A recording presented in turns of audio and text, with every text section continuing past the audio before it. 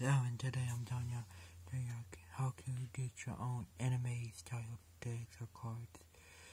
I'm show you what the fusion. I gonna show you what just like the Exceed monsters.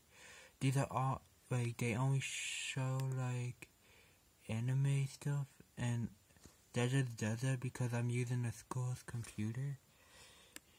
They even have number cards. Let me see if I can find a number for you. Um. The number? Oh yeah, number 10, Illumiknight. Y'all can see him right there. Number 16, 15, 12, 11, 30, 20. I think that's 19 and I know that's 17. Then 39, 34, 33, 32,